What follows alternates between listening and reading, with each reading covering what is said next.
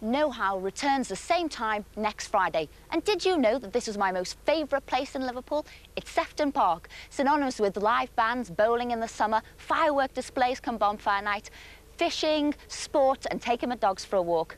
Ah, memories, hey Philippa? Oh, Esther, while she's taking a trip down memory lane, we're live